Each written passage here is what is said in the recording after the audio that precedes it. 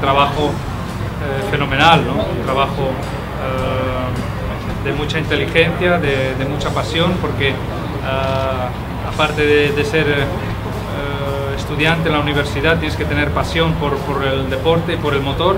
y cuando crean uh, coches de este tipo tan eficientes uh, y, y, tan sofisticados, pues es siempre yo creo una,